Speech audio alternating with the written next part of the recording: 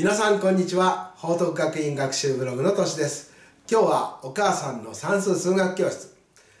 特に中学1年生2年生のお子さんをお持ちの方で文字式分数の形になっている文字式の計算をよく間違えると、えー、こういう時どうしたらいいかということについてお話しします。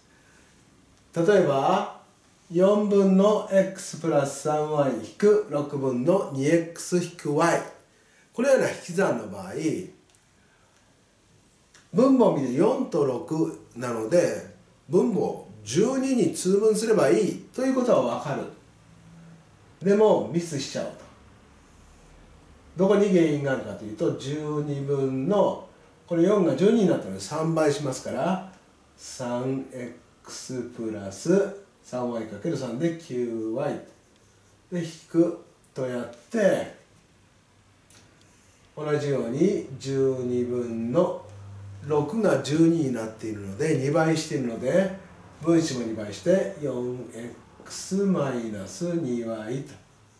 ここまではいいんですけれどこの次でミスしてしまうどんなミスをするかというと12分の 3x-4x でマイナス x でもその次に 9y-2y ってやっちゃうんですよね。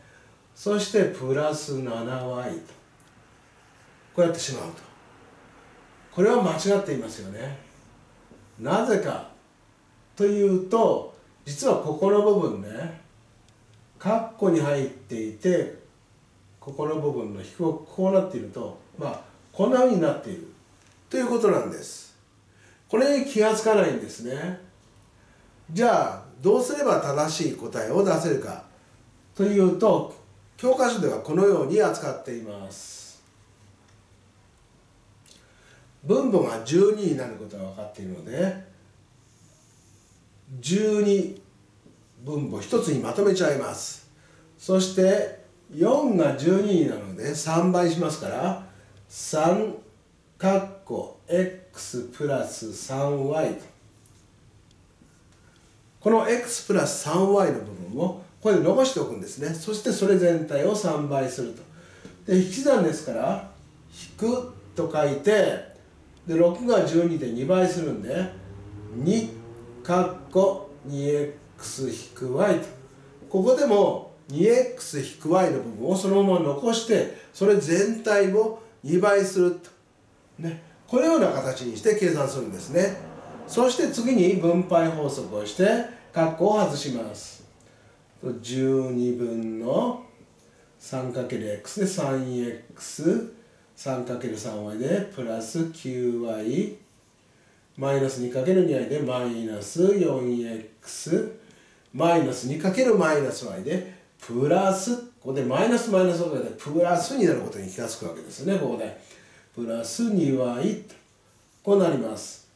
でさらに計算をすると12分の 3x-4x でマイナス x 9y 足す 2y でプラス 11y と。このように正しい答えが出てくるわけです。ですからこのような式の場合必ず元の式 x プラス 3y とか 2y-y というのを残るような形で3括弧 x プラス 3y 引く2括弧 2x 引く y この形を残しておいて分配法則すると、えー、このことを身につけるだけで計算ミスがぐっと減ると思います、えー、今日も最後まで見ていただきどうもありがとうございました。ではまたお会いしましょう。さようなら。